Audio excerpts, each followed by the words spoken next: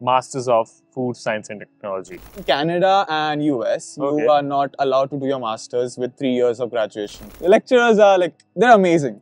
Like okay. that's one word for them. Okay. And it's different from India. The third semester was the most challenging, yet the most informative one for me at least. Uh, quality assurance manager, quality control manager, quality co- coordinators.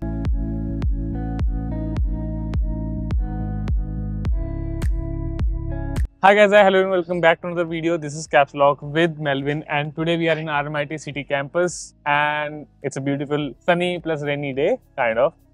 And It's nice. It's nice, it's nice. It's nice weather. um, we are sitting in a chill uh, location melvin found it and we are going to talk on the topic which is quite popular nowadays and there's so many people from medical science and other streams as well would like to know more on that which is people have got the idea from the title which is masters of food science and technology and melvin has been doing this course for almost i guess two years that's his second year last year, Yeah, technically. last last semester. last semester means you have completed three year semesters and this is the last semes- semester Last semester, yeah, exactly. Yep. So we're gonna talk on this um, course, and we're gonna have some basic info and some of the um, you know niche knowledge and uh, precise information which only you can deliver as a student, and which is not quite present on website because most of the students who wants to do any course um, in any university or any nation would like would search on internet, right? Mhm. But there's no particular video yet made on this topic, and you can be a uh, Thanks for getting me. yeah, and I'll try my best. yeah, hundred percent. Yes. Um, and keep it informal. Very informal. Keep it blunt as well sometimes, but sometimes su- sugar-coated. No. If it's up to you, but yeah. So let's start with this. So Masters of Food Science and Technology, Mhm. right? Before going to the course, let's start with you first. Okay. Mhm. Why did you choose Australia? I mean, why not, right? It's it's an amazing country. Mm-hmm. Culture so diverse. The people are very friendly.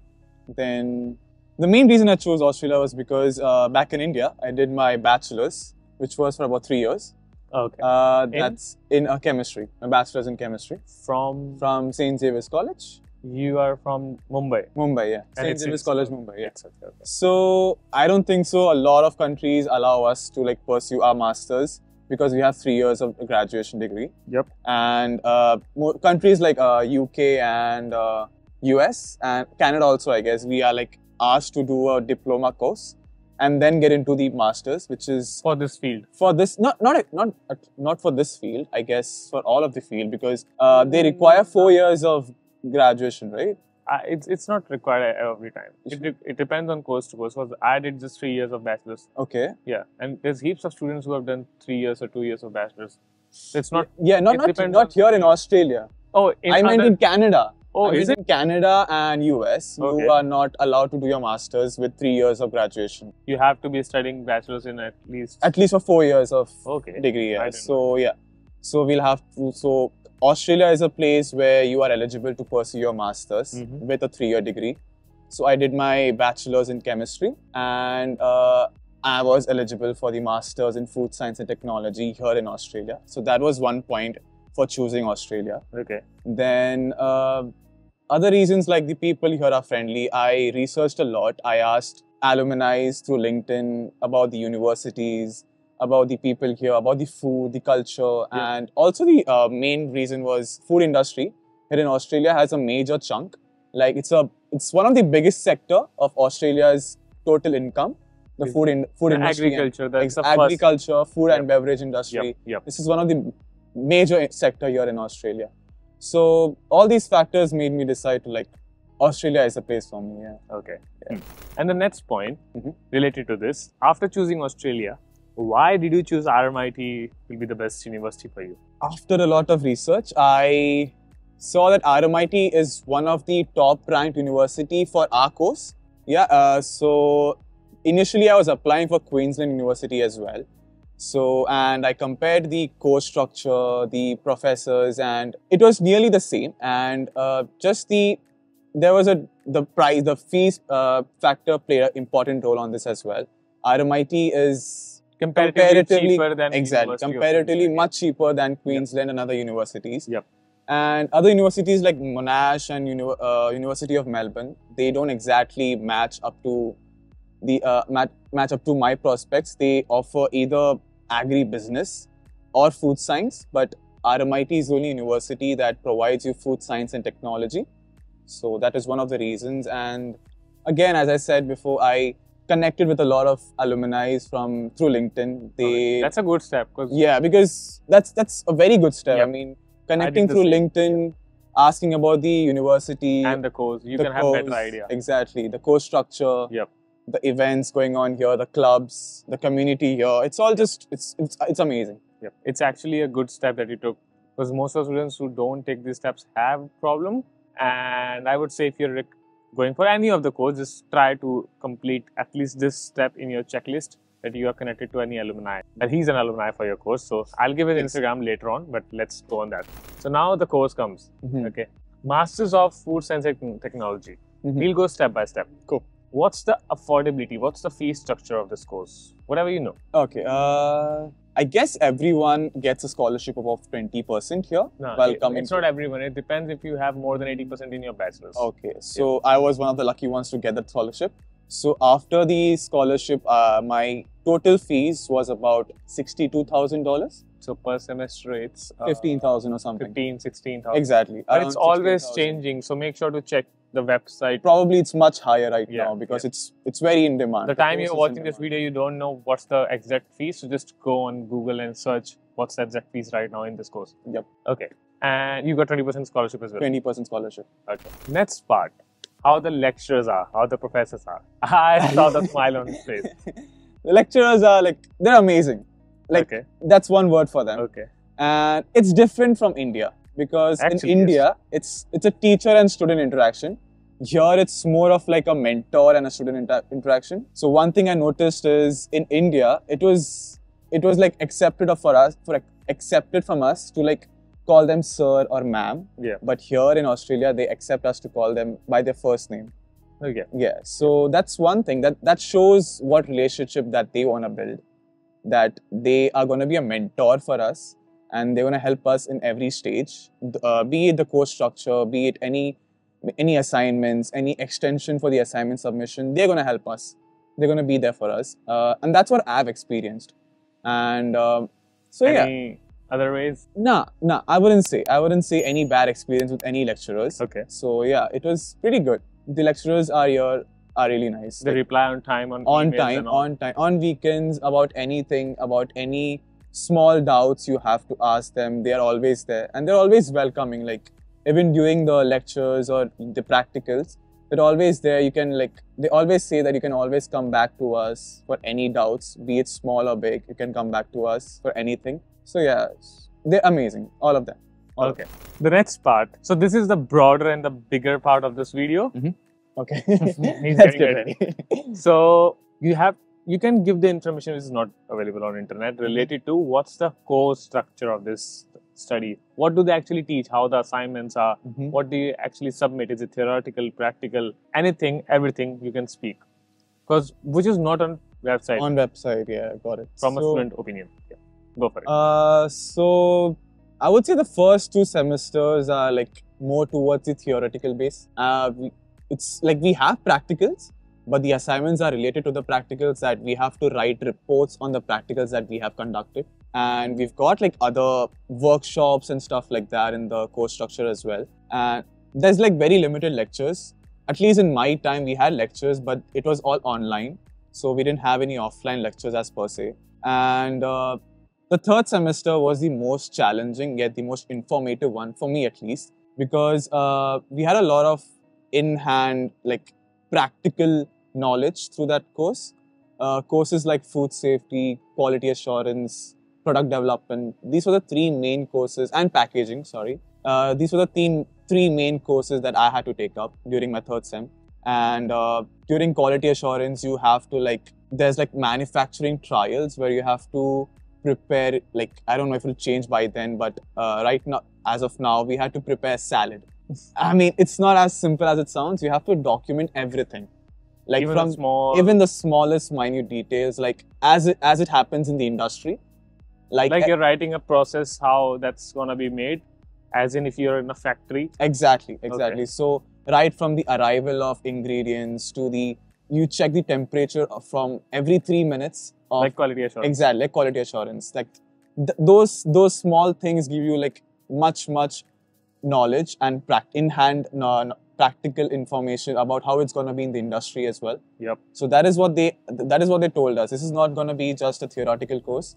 It's going to be something that's going to like build you and like and make you act like an a exactly company, exactly which yeah. is already kind of Exactly. making stuff out there, which is not present. It's just hypothetical, Ex- it's but- just hypothetical, but it's, but it's making you trained in a particular aspect of looking how you will be as an in, employee in, in the an industry yeah yeah. You're gonna get that experience out of it. You're gonna be like we get that uh, i mean it's not fake. It's hypothetical uh, positions as well as quality manager quality assurance manager. So in your group, in your group like yeah. they make you like exactly. if i'm the safety manager he's gonna be the quality assurance manager. Okay. it's just hypothetical and just on paper but it's like gonna help you how it's gonna work out in the industry Hmm. how it's gonna like like pan out like who's gonna get what jobs who's gonna get what prospects of in working in a team And also, as a student, I would say you can have a better mindset. Okay, this role is not for me. Maybe after this course, I'll go for this, course. this exactly role. exactly exactly Okay. it, it helps you a lot And these are kind of your major assignments which you have to yes write and in the third sem in the first sem is mostly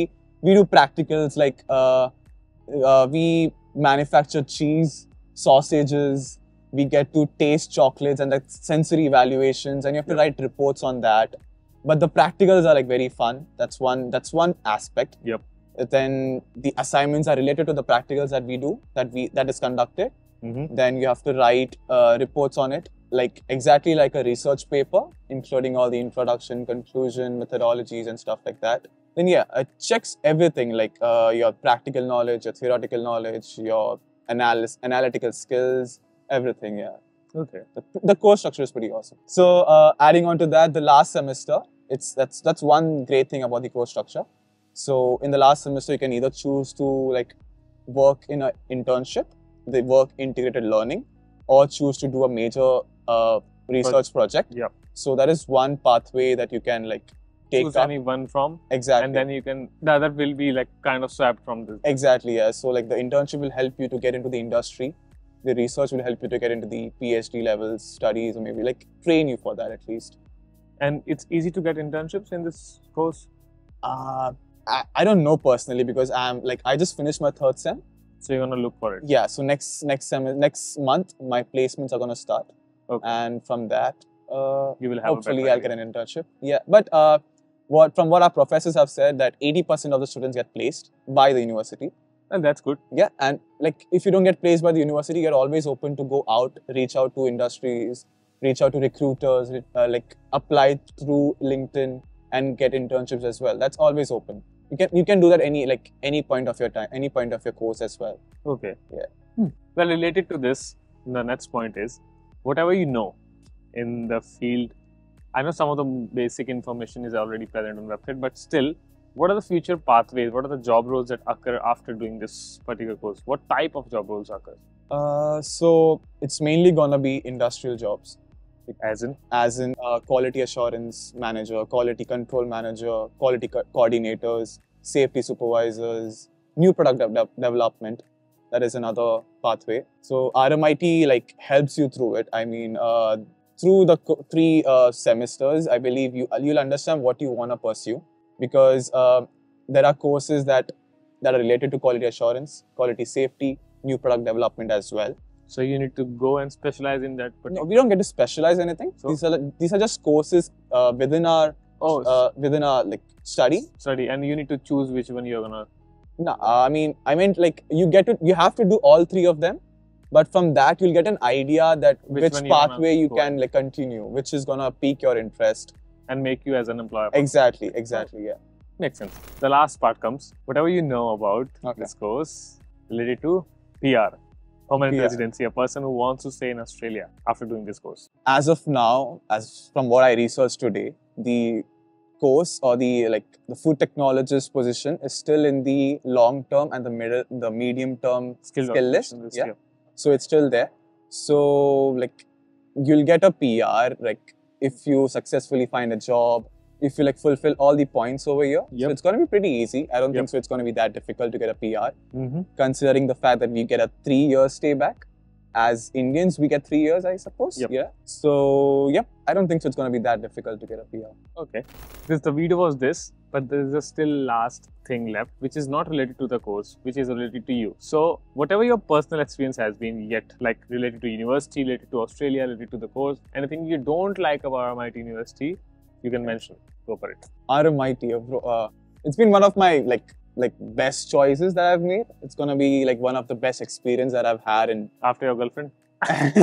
probably but yeah it's it's one of the best universities i don't know i don't ha- like i haven't like gone to the other universities but it's it's been great the journey's been great uh, the communities that are here the clubs especially the clubs the Ru- RUSU the student union it's all amazing uh, we celebrate all of the major festivals here like Yes. with all the boom and bams like all the performances all the traditions all the traditional wares, everything is like you can watch your like, they can watch your videos as Yeah. well. It's pretty good. Uh, RMIT as a university is amazing. Professors are amazing. The food here is amazing. You get free, free, Free beer. Yep. free beer and fo- food as well here. Yep. So not every day, not On every Thursday. on Thursdays. Yeah. So that's there. Then um, one thing I did not like about uh, RMIT in my course was that you have to travel to Bundoora.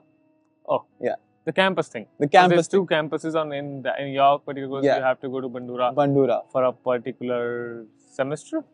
Uh, it's most of the semester.